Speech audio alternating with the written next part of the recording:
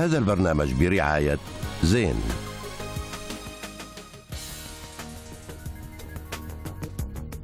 أهلا ومرحبا بكم معنا في جلسة هذا اليوم والتي نناقش فيها العديد من الأمور. أنا رولا تراوني أترافق معكم إلى أبرز العناوين. 72 مليار ريال حجم السوق الاستثمارية الرياضية في قطر خلال السنوات السبع القادمة. 878 مليار دولار حجم التجارة البينية داخل حدود منظمة التعاون الإسلامي في 2015 إنفاق الفرد على التأمين في السعودية ينمو بنسبة 16% خلال 2015 والتأمين الصحي يستحوذ على 52% من حجم السوق.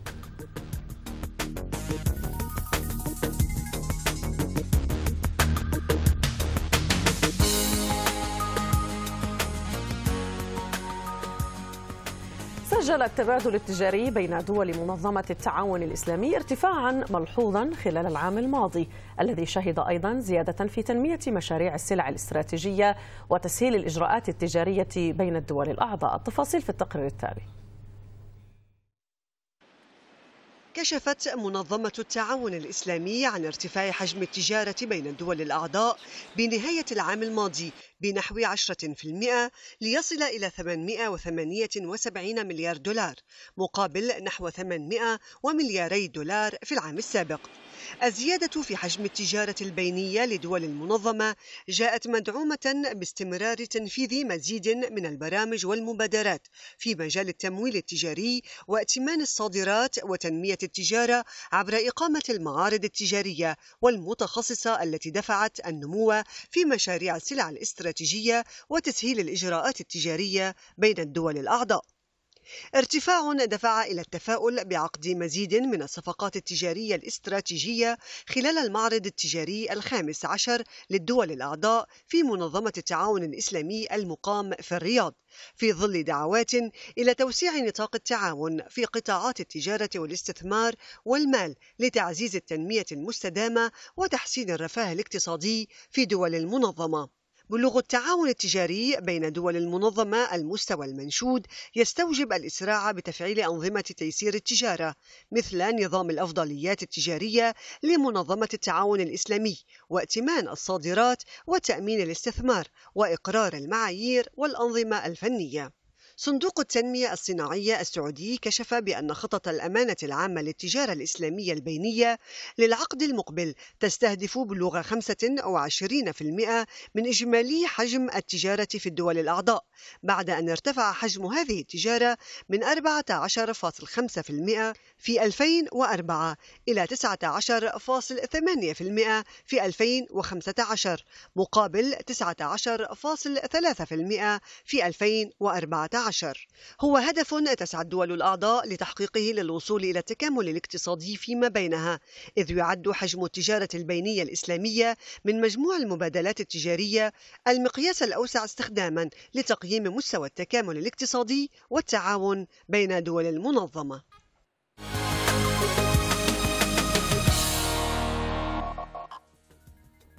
قال مدير إدارة إعادة التأمين في الشركة المصرية العربية للتأمين إن تعويضات حادثة الطائرة المصرية تشمل تعويضات تتعلق بجسد الطائرة وتبلغ قرابة 25 مليون دولار فيما يتعلق الآخر بتعويض أهالي الضحايا والذي لن يقل عن 350 ألف دولار للشخص الواحد.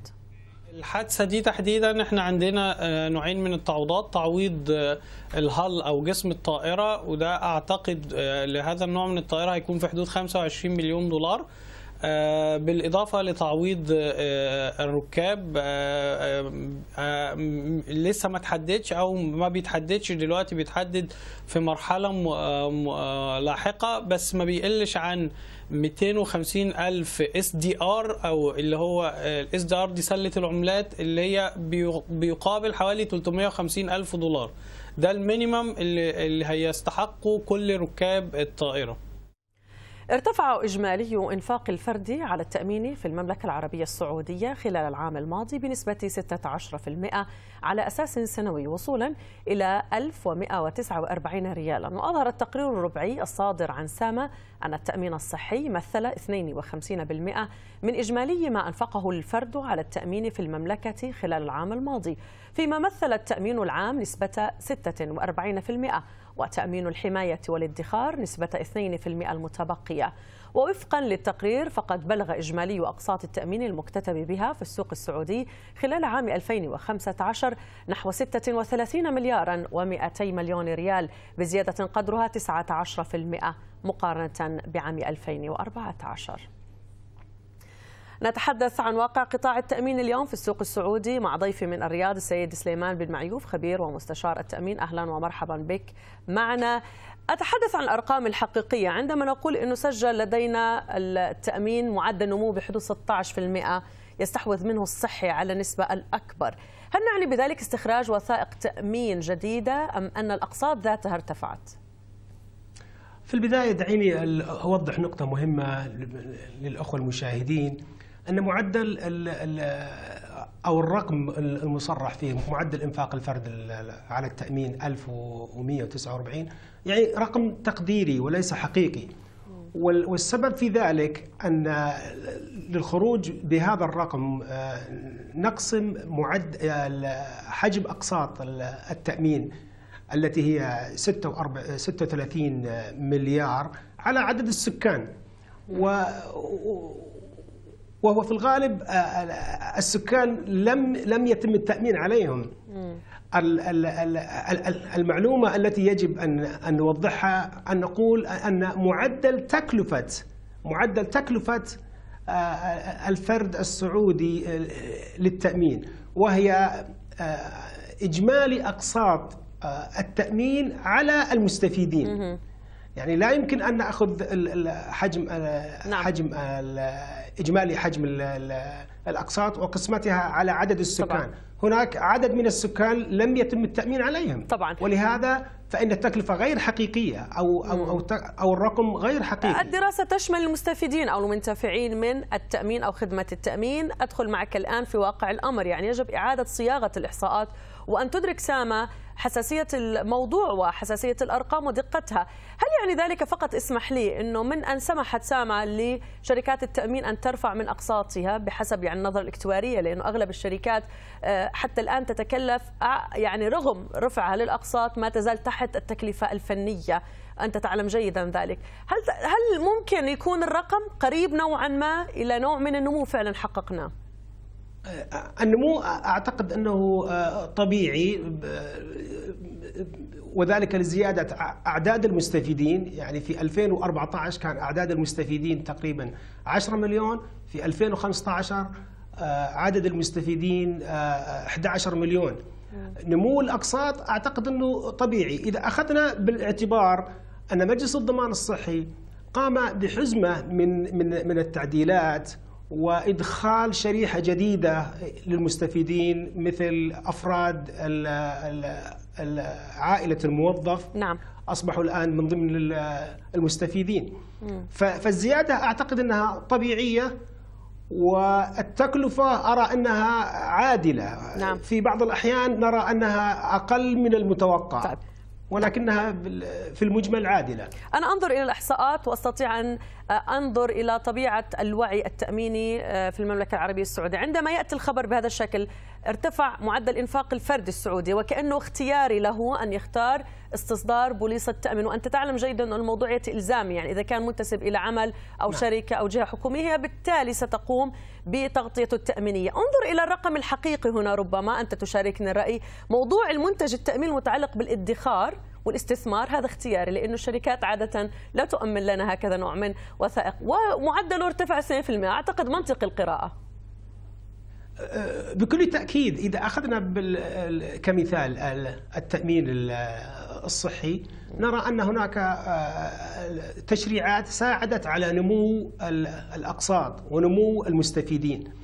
في الجانب الآخر تأمين الادخار وال والحماية. والحماية. نعم ليس هناك تشريعات من من من من قبل المشرعين مؤسسة النقد أو أو أو أو أي جهة حكومية أخرى ساعدت على نمو هذه المنتجات التأمينية. نحن نحتاج فعلا إلى تشريعات جديدة تساعد قطاع التأمين في في في طرح منتجات آه، تتلمس حاجات المجتمع. غير التقليدية غير السيارات والصحي نعم. نعم نعم. وأعتقد انه انه انه انه هناك تحرك الآن من قبل آه، جهات حكومية. الدفاع المدني الآن بدأ آه، في في في وضع الأطر والصيغ نعم. التشريعية. لطرح منتج جديد اللي هو المسؤولية المدنية في في الأماكن المكتظة جميل. بال, بال ولكن استثني منها طبعا الحج لأنه يعني كان بأمر ملكي أن لا يتم إلزام آه، الحجاج هم ضيوف الرحمن بحسب يعني الملك. آه، أذهب معك الآن إلى قراءة مجمل الأقساط. عندما نحكم على سوق تأمين في الدول العربية أو العالم ننظر إلى مجمل الأقساط وهذا حقق نمو بالفعل مقارنه بال 2014 لكن يجب أن نضع الأمور على حقيقتها. هذه الأقساط نمت عند شركات تحتكر القطاع أو التي لها يعني هي حيتان السوق. أنت تشاركني في هذا الرأي. يعني مش كل ال 35 شركة في السوق السعودي. يعني, نعم. يعني بكل تأكيد يعني أنا أعتقد إنه قبل ثلاث سنوات كان عندنا ثلاث مجموعات بالنسبة لشركات التأمين كتصنيف. كان في شركات كبيرة ومتوسطة وصغيرة. الآن آه، في الوضع الحالي أتوقع أنه عندنا تصنيفين فقط لا غير. تقريبا شركات كبيرة وشركات صغيرة. قياسا على حجم أو نسبة أو حصة كل شركة تأمين. ثلاث شركات الآن ثلاث شركات كبيرة الآن تسيطر على 82% من حجم أقساط التأمين. آه، ومن من من المفاجئ جدا انه شركة واحدة بمنتج واحد فقط آه، قادرة الآن على السيطرة على 46% من من التأمين من التأمين الصحي. معنى ذلك ولكن أنه أنت تشارك أن رأيها نجحت يعني قلما نجد شركات هي تستأثر بهذه الحصة. أنا لا أخالفك لكنها نجحت. ولدينا مشاكل في قطاع التأمين تتآكل رؤوس الأموال وربما تصل إلى أكثر من 75% وهنالك نظرة لإعادة صياغته عندهم مهلة الآن يجب أن يحددوا مستوياتهم من قبل سامة وإلى أين تؤول إليه الأمور. يعني هل نحن يجب أن نثق؟ يعني إذا شركة حتى لو أنت تقول أكثر من 40% مستحوذة على حصة السوق مع ذلك خدماتها جيدة تحقق نمو لا أتوقع لا, لا أتوقع إنه لديهم استراتيجية معينة وأتوقع إنه الخدمات التي يقدمونها بكل تأكيد إنها عالية و نعم. ومنافسة وإلا ليش يعني استحوذ على 46% من نعم. ال من ال من حجم السوق ولكن ندعو الشركات الأخرى إلى التقي إلى التقيد أو أو أو أخذ نفس المسار بالبحث عن عن جودة الخدمات والمنافسة أيضا. والله أنت تعلم جيدا موضوع تكسير الأسعار ربما سيهزم هذه الرؤية. أشكرك جزيل الشكر دائما أستاذ سليمان بن معيوف وأنت خبير ومستشار في قطاع التأمين السعودي. مليونين ونصف سعودي يوجهون أنظارهم إلى دبي. لماذا؟ ومتى؟ بعد الفاصل.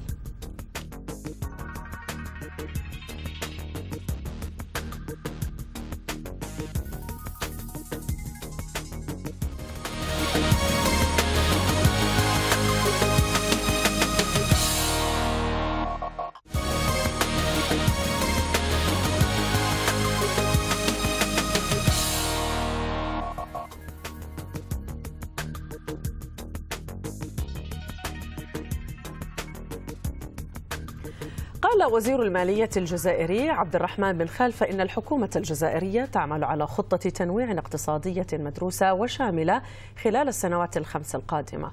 وأضاف في لقاء مع سي إن بي سي عربية أن بلاده تعمل على تطوير قطاعي الخدمات والصناعة لزيادة مساهمتهما في الناتج المحلي. وبالنسبة للجزائر تعرف أنه آه، عندنا اليوم خطة آه، متماسكة. اولا للتنويع الاقتصادي لأنه البترول نزل نزل نزل ونحن خلال الخمس سنوات القادمة إن شاء الله لابد أننا ننزل تبعية تبعية الاقتصاد بأكثر من النصف. ثاني أننا نغير نمط النمو نمط النمو اللي كان فيه مستوى الخدمات ومستوى الصناعة قليل لابد أن يقفز ونغير كذلك نمط تمويل النمو بالمدخرات الداخلية وكذلك ببعض التمويلات الخارجية. تعرف أن الجزائر من بين البلدان العربية الكبيرة والأسيوية اللي عندها مستوى أدنى أدنى من كل البلدان في مستوى على مستوى المديونية. فالجزائر إذا هي في مسعى الآن تغيير هيكلي تنويعي للاقتصاد خلال الثلاث سنوات الأربع سنوات القادمة. كما أضاف وزير المالية الجزائري عبد الرحمن بن خلفة أن الحكومة الجزائرية عملت خلال السنوات الماضية على الاستثمار في البنى التحتية وأشار في لقاء مع سي إن بي سي عربية أن بلاده تعمل على مجموعة من التدابير للتأقلم مع أسعار النفط المنخفضة ومنها ضبط الإنفاق العام والعمل مع المؤسسات المصرفية الدولية على تمويلات مشتركة. والله إحنا خضينا ثلاث تدابير. اولا بالنسبة للأسعار عندما كانت مرتفعة استثمرنا بشكل كبير في الهياكل القاعدية في المرافق وفي اليوتيليتيز يعني بالكهرباء بالغاز. فالآن البلد هي على مستوى عالي من هذه المرافق الأساسية. ثم بعد ذلك نتجه اليوم إلى ثلاث أشياء. نتحكم كثيرا كثير بمستوى عالي في الإنفاق العمومي. لأن الإنفاق العمومي لابد أنه ينزل تدريجيا. الإنفاق العمومي لا يمس الاستثمار يمس الإدارة كلفة الإدارة وكلفة الإدارة سواء المحلية أو الوطنية. ثاني شيء نجند الموارد الداخلية. وأول مرة البلد خارج يعني في قرض سندي وطني يجمع المدخرات زيادة عن المدخرات الوطنية التي تجمع بال market ال financial market. وثالث شيء كذلك نرجع إلى آه، بعض المؤسسات الدولية مثل البنك الإسلامي مثل البنك الدولي مثل البنك الإفريقي لنمشي معها في تمويلات مشتركة تفاضلية وليس الاستدانة الكلاسيكية تمويلات مشتركة آه، بيننا وبينها بين شركاء متميزين لأنه مستوى النمو عندنا يتطلب مستوى عالي من الموارد. فإذا في نفس الوقت نقلل من الإنفاق العمومي ونزيد من التمويلات الادخارية سواء كانت وطنية أو دولية لأن مستوى النمو عندنا لابد أن يصل الآن وفي 4% لابد أن يصل إلى 7% إن شاء الله. تعتزم دول الخليج زيادة إصداراتها من السندات خلال الفترة المقبلة لتغطية عجز ميزانياتها والذي من المتوقع أن يصل إلى نحو 265 مليار دولار هذا العام. المزيد حول هذا الموضوع في التقرير التالي. ما إن بدأت التوقعات بوصول العجز المالي لدى دول الخليج إلى مستويات ال 265 مليار دولار خلال هذا العام حتى ازدادت التساؤلات حول ماهية الحل الأمثل الذي من شأنه الخروج باقتصادات هذه الدول من هذا التدهور المالي الذي بدأت تعاني منه شيئا فشيئا. إصدار السندات هو ما استقرت عليه دول الخليج كحل أمثل لمواجهة العجز الذي ظهر في ميزانيتها مستندة بذلك إلى العديد من المزايا التي وفرها لها هذا الحل. فأسعار الفائدة المنخفضة التي وفرت أموالا رخيصة لهذه الدول والسعي لخفض وتيرة سحب الودائع الحكومية التي بدأت بالضغط على السيولة المحلية لديها وانتهاء بالتقليل من استهلاك الاحتياطيات المالية التي تمتلكها. كلها عوامل لعبت دورا رئيسا في هذا التوجه لدى دول الخليج. توجه تجلى بإطلاق العديد من الإصدارات بدءا من الكويت التي وصلت قيمة إصداراتها من السندات إلى ملياري دولار منذ بداية هذا العام إلى أبو ظبي التي نجحت في إصدار سندات بقيمة خمسة مليارات دولار ولم تكن البحرين بعيدة عن ذلك إذ نجحت في إكمال الإصدار الحادي عشر من سندات التنمية الحكومية والذي انتهت قيمته عند 530 مليون دولار. في الوقت الذي تعتزم فيه السعودية إطلاق إصدارات جديدة من السندات بفائدة ثابتة لأجل خمس وسبع وعشر سنوات هذا الأسبوع. من المؤكد أن السياسة المالية للدول لا تقتصر على إصدار السندات فحسب وهو ما يبدو أن دول الخليج قد أدركته بدورها إذ تواكبت عمليات إصدار السندات مع العديد من الخطوات المتزامنة كتخفيض الإنفاق الحكومي والعمل على التقليل من المشاريع التنموية والتركيز بشكل أكبر على المشاريع الاستثمارية. خطوات هدفت دول الخليج من خلالها إلى المحافظة على زخم النمو الاقتصادي في هذه الظروف. فهل ستنجح دول الخليج في القيام بهذه المهمة؟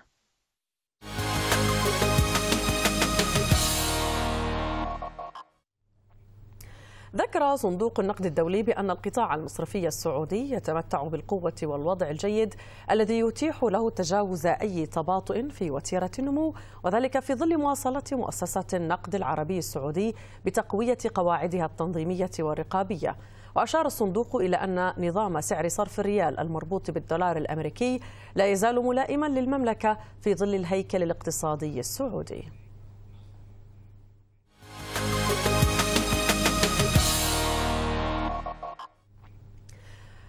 توقع المدير التنفيذي لمؤسسة دبي للتسويق السياحي والتجاري عصام كاظم أن يصل عدد السياح السعوديين في دبي إلى مليونين ونصف مليون سائح بحلول عام 2020 وذلك بزيادة تصل نسبتها إلى 100% عن العام الماضي. مضيفا أن دبي استقبلت أربعة ملايين ومائة ألف سائح خلال الربع الأول من عام 2016 بزيادة نسبتها 5.1% على أساس سنوي في حين نمت السياحة من الخليج والهند نموا فاق العشرة وأوضح عصام كاظم أن نسبة السياحة الخليجية في دبي وصلت إلى 25% من إجمالي السياح خلال الربع الأول من عام 2016 كما ارتفع عدد السياح القادمين من السعودية 14% خلال الفترة ذاتها.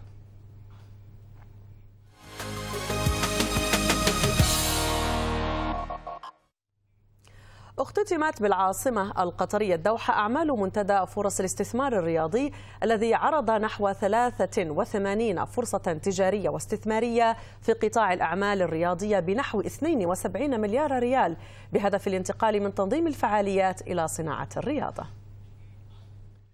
بهدف التحول من تنظيم الفعاليات الرياضية إلى صناعة الرياضة 83 فرصة تجارية واستثمارية في قطاع الأعمال الرياضية بنحو 72 مليار ريال تطرح بمنتدى فرص الاستثمار الرياضي تزامنا مع استعدادات قطر لاستضافة فعاليات رياضية عالمية كبطولة العالم للجمباز وألعاب القوى وبطولة العالم لكرة القدم عام 2022 بالإضافة إلى أكثر من 30 بطولة محلية وإقليمية تستضيفها سنويا.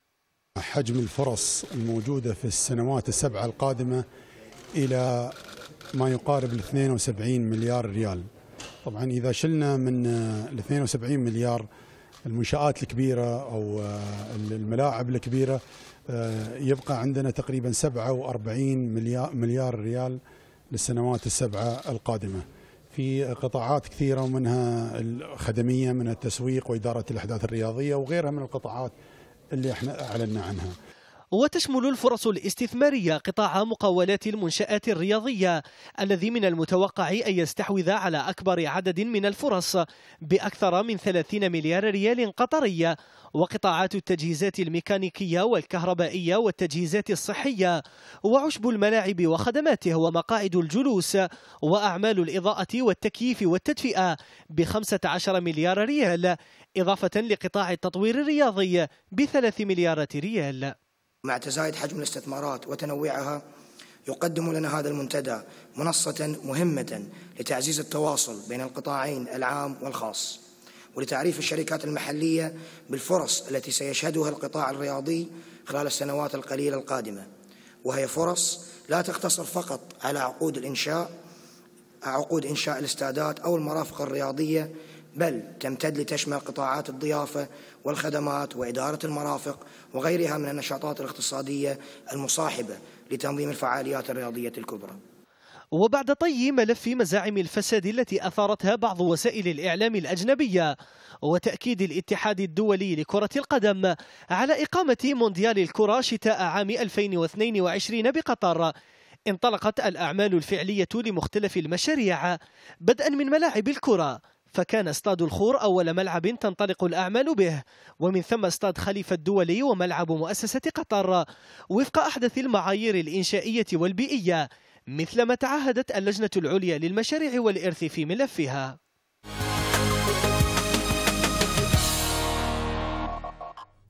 قال وزير البترول المصري طارق الملا إن بلاده تنفذ حاليا 12 مشروعا لتنمية حقول الغاز الطبيعي باستثمارات تبلغ نحو 33 مليار دولار تستهدف من خلالها زيادة إنتاج الغاز إلى ما بين 5 مليارات و500 مليون و6 مليارات قدم مكعبة يوميا بنهاية 2019 قال مسؤول في تركمانستان إن بلاده تجري محادثات مع البنك الإسلامي للتنمية والصندوق السعودي للتنمية والحكومة اليابانية لتمويل مشروع مد خط أنابيب غاز إلى أفغانستان وباكستان والهند.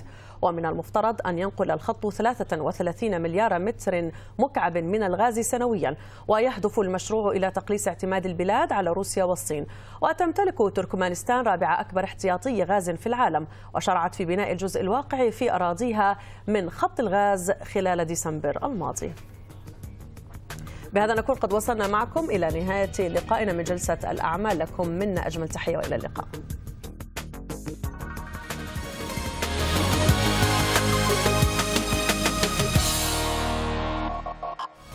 هذا البرنامج برعاية زين.